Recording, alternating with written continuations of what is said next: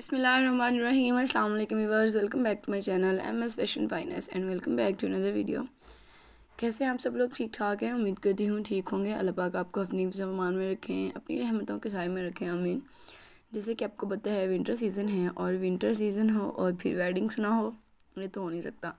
Specially जो है, winter जो है, इसको वैसे मेरे ख्याल से वेडिंग सीज़न कहना चाहिए, क्योंकि विंटर में वेडिंग्स सिर्फ़ वेडिंग्स वेडिंग्स ही होती हैं और कुछ भी नहीं होता है विंटर में। तो उस हवाले से आप लोगों के लिए वीडियो है कि आप लोग जो है पिंक मैक्सी उसको किस तरह से कैरी कर सकती हैं। आज की वीडियो जो है ख़ास तौर पे ब्राइडल्स के लिए है कि जिन गर्ल्स का जो है पिंक कलर फेवरेट है। इसमें डिफरेंट शेड्स हैं पिंक के लाइट है मोस्टली तो आप उसमें जो है ले सकते हैं डिफरेंट आइडियाज़ कि अपने जो है ब्राइडल ड्रेसेस किस तरह से तैयार करा सकते हैं। मोस्टली गर्ल्स वैसे आजकल जो है बारात पे, निकाह पे जो है ना dark shade like red maroon पहनना छोड़ गई हैं।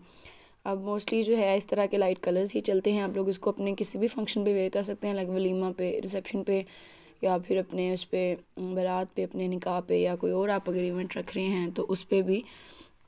तो उस हवाले से आप लोगों को काफ़ी इसमें आइडियाज़ देखने को मिलेंगे। कुछ डिज़ाइन इसमें हैं सिंपल वेयर के लिए कि अगर आप लोग एज अ वेडिंग गेस्ट जा रहे हैं तो आप वहाँ भी यूज़ कर सकते हैं। बहुत खूबसूरत से डिज़ाइन हैं, बहुत खूबसूरत से कलर आइडियाज़ हैं। काफ़ी जो है ना, इस पर खूबसूरत काम किया हुआ है बारीकी में। बहुत ही अच्छी अच्छी डिज़ाइनिंग की गई है। होपफुली आप लोगों को पसंद आएगी। सो आप लोग जो है इस वीडियो को एंड तक क्लास में देखें।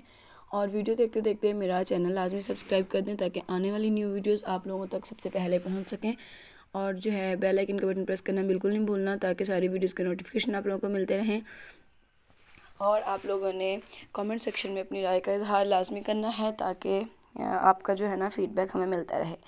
सो so, होपफुली आप लोगों को वीडियो पसंद आई होगी। मिलेंगे न्यू वीडियो में न्यू डिज़ाइन के साथ। तब तक अपना रखिए ख्याल मुझे दीजिए इजाज़त। अल्लाह हाफिज़।